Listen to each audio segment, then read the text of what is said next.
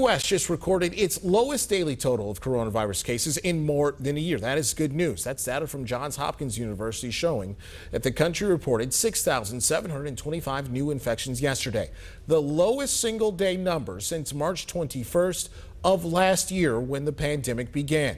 It also marks the first time that the daily number of cases has fallen below 10,000 in over a year.